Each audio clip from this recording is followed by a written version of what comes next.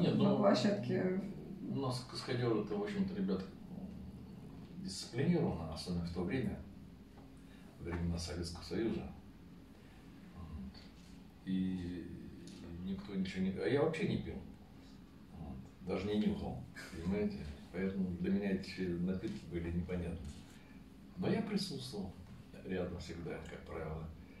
Ну, если кто-то что-то и позволял, наверное, в ночное время на берегу не опасно.